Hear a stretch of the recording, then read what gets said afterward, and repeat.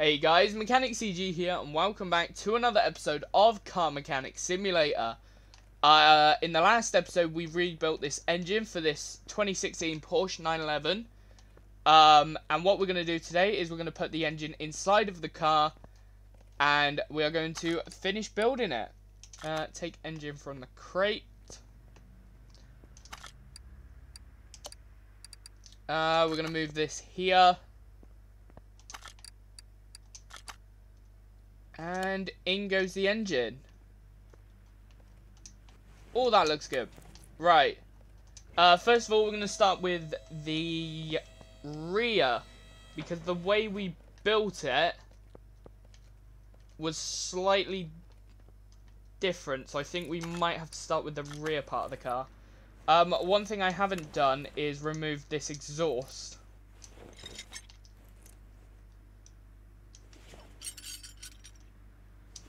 Uh, so it's 991 for this Porsche.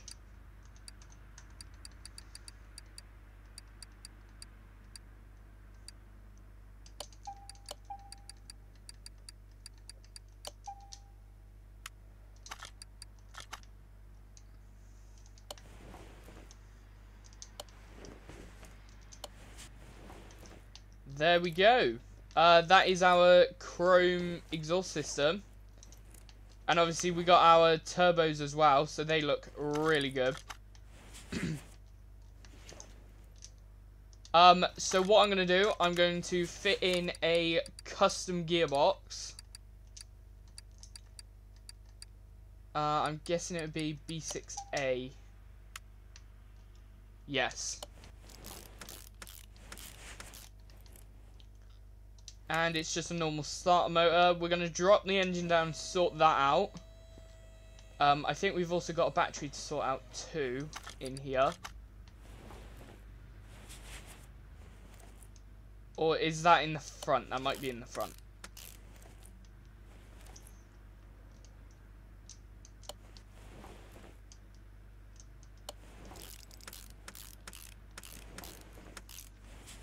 Um, brake servo. There we go.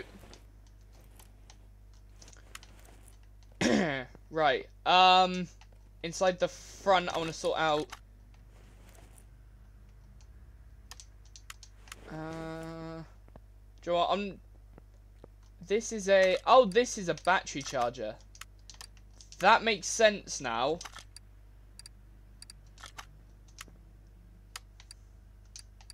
Um.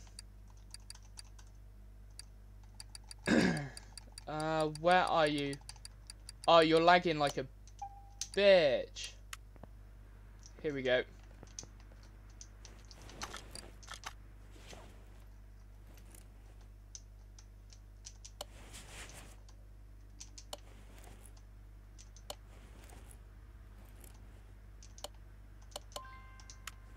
There we go.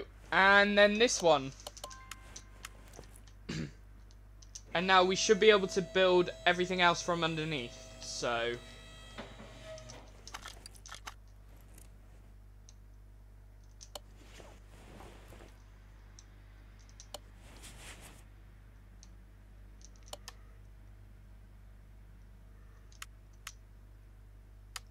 Do I seriously not have any rubber bushings?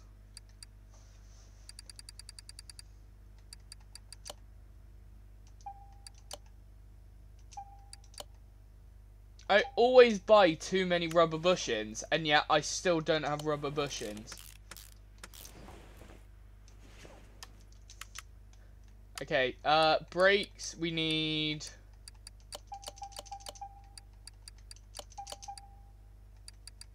I presume the fronts must be ventilated, because if they're not, then that's a pretty bad job.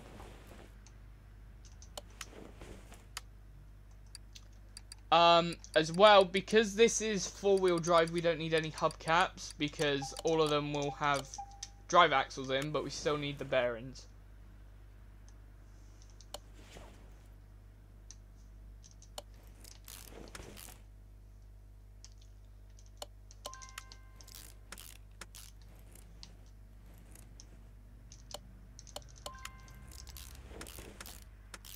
There we go.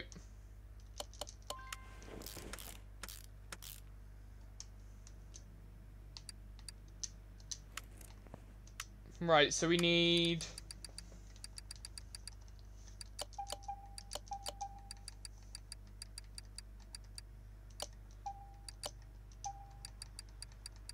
And we also need two of these.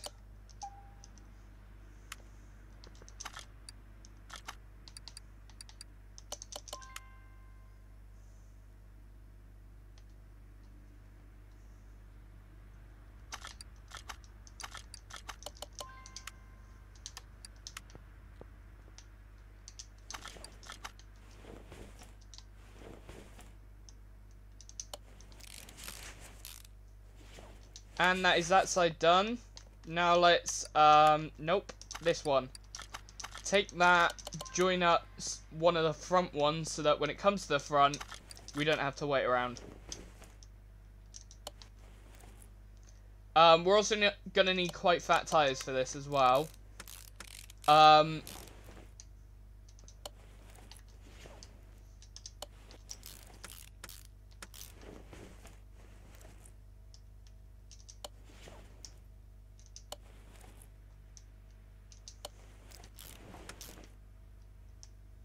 brake pads.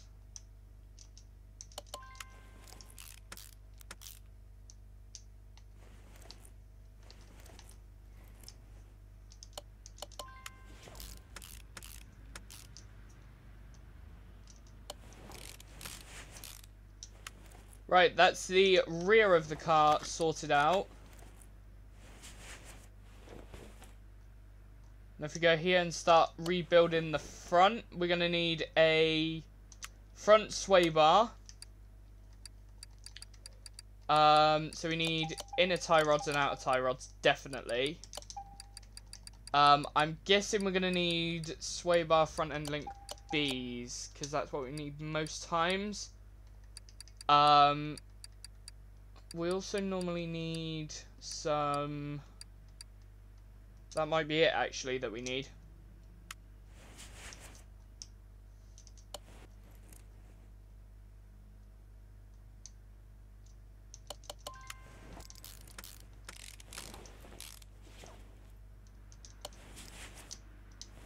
Right, uh, suspension, let's take that.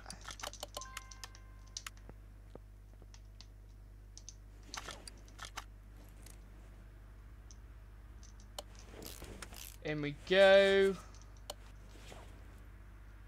Uh, upper suspension arms. They're always quite useful, mainly because we need them.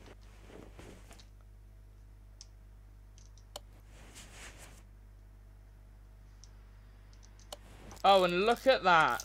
Perfect. Got the right ones this time.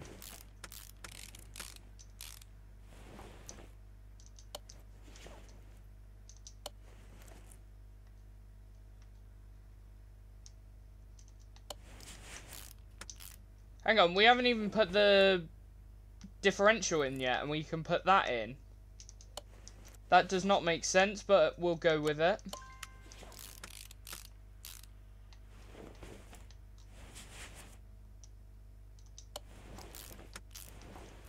This car's weird. It steers from the opposite side. Steers the car from the rear of the wheels, not the um, front part of the wheels.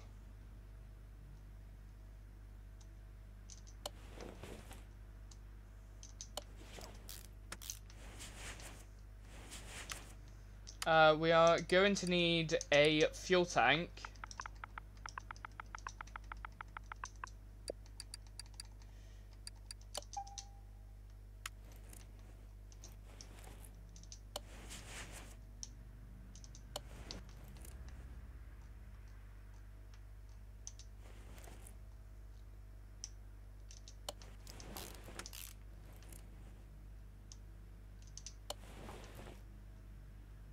Uh, rubber bushings there.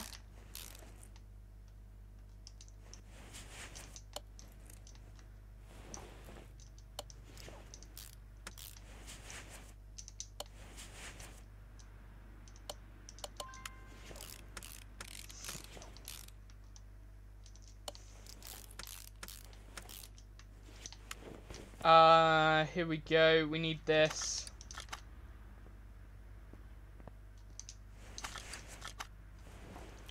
Chuck those shock absorbers in here.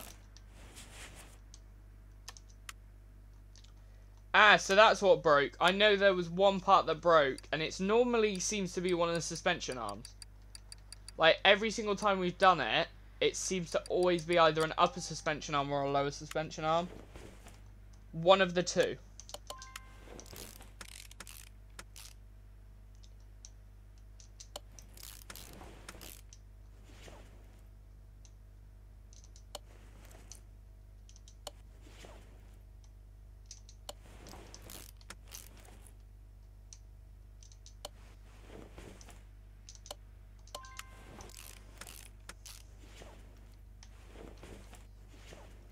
Right, and then if we fit our differential in, and then our drive shaft, we are good to go.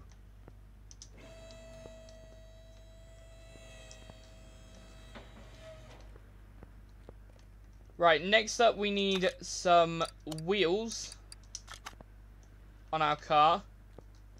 Um, we're going to move these over here because the car isn't in 100% condition. Because if you look on the exterior, you might be able to see it if I come up here. You can see there's scratches on it. So we're going to use the welder. Uh, nope. And now if you look, there's no scratches. And then we use that, and then that's the interior at full uh, perfect condition as well. Um, we need tires. So, what size are we currently rocking? We're currently rocking 245 35 20 and 305 30 20. Right, so we're going to use 30 20s on the fronts and the rears, but we're going to use a 255 and a 325. Um, and we're also going to use not the slick tires. Uh, I think we'll use race tire because, yeah.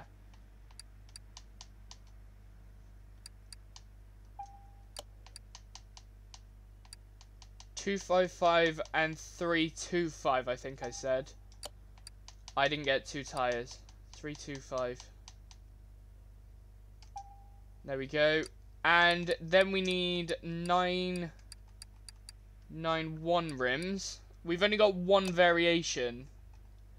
Um, some of the cars seem to have two variations. Oh my god, what car has size 25 rims? If anyone knows what car has size 25 rims, let me know. I need to know this. What is ET as well? Is that Hang on, ET is extended travel. Isn't it? So does that mean... Hang on.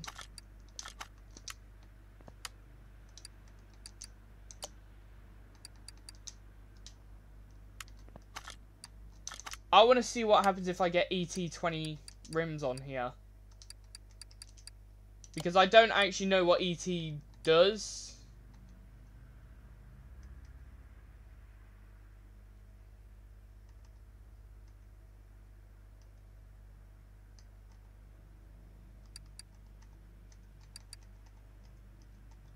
Go for 15 on the rears.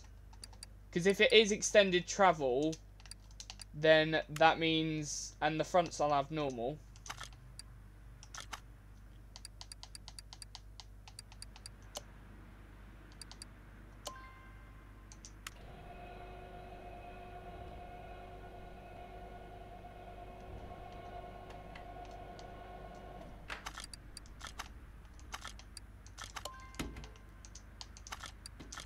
Uh, 20 inch zeros with the 255 tyre. Yep. Sounds about right.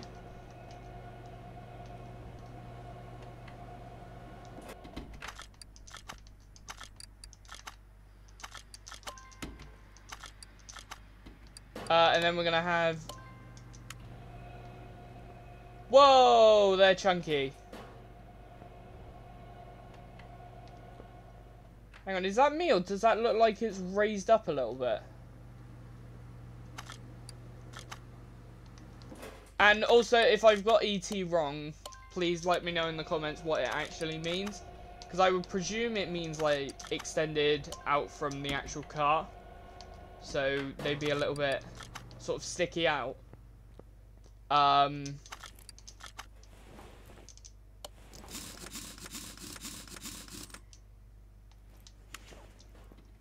Because they are flush, so I would presume the other ones would stick out a tiny bit.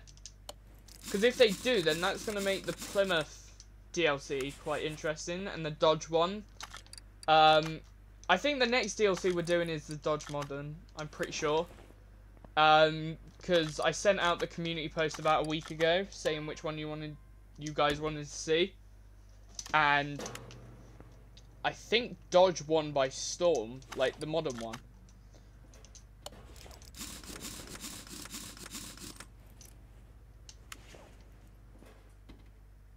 Yeah, look, the tyres stick out. They're not even that much wider on... That might be what it means then.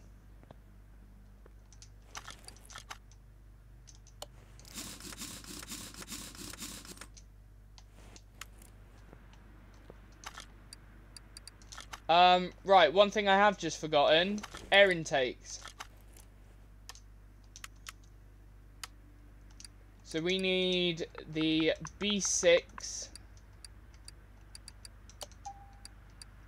air filter base and air filter cover, and then we're going to fit in our performance air filters.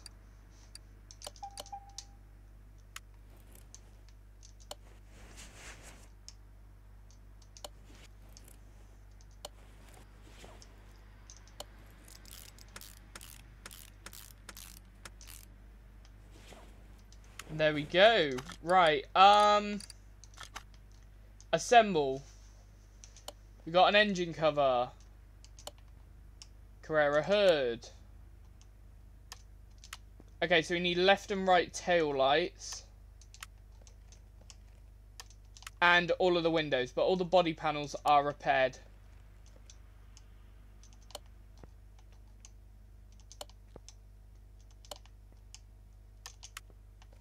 And the front bumper got destroyed as well.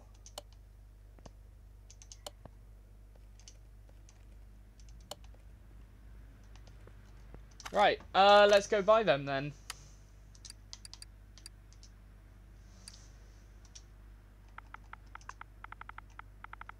Is it 991, yeah? Yes, okay. Uh, front bumper, window, window, window, window. Window, window. Left tail light, right tail light. And headlights.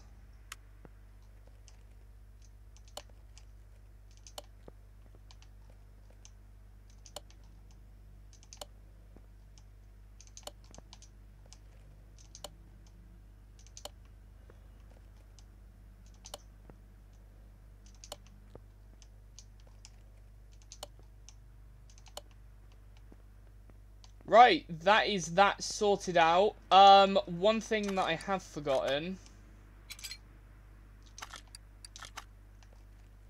is this. We need to fill this with oil. We need that lubrication.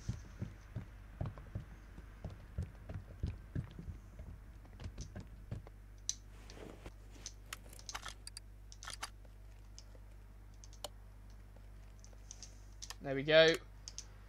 Uh, right. We're going to move you into the paint shop. One thing I want to see as either the next game or as DLC is something that Need for Speed Payback has done is a body DLC. So body mods DLC. Every single car in the game can have more customization, but also every car that they get in the game also gets body custom, even if it's just like uh, extra vents customization, something like that, where you can put on um,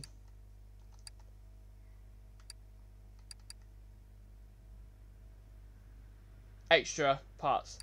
Um,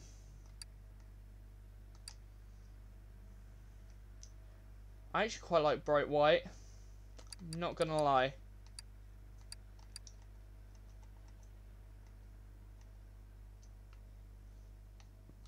Oh! I'm making the car chrome.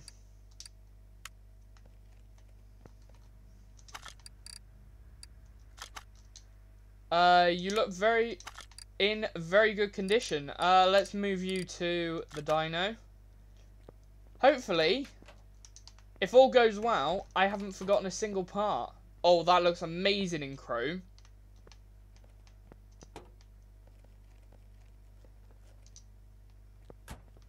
That looks stunning. And we didn't forget a part this time. Right, let's go. So we got front wheel drive as well, so we might get more torque out of this.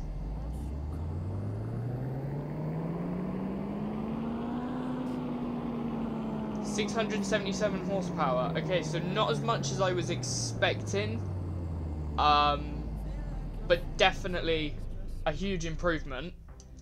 And because it's all-wheel drive, I'm expecting, um,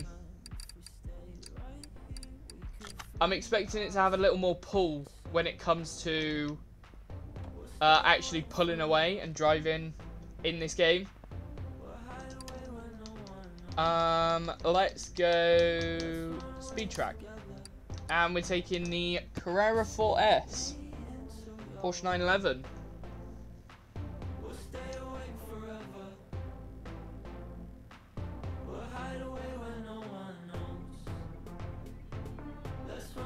You pleb.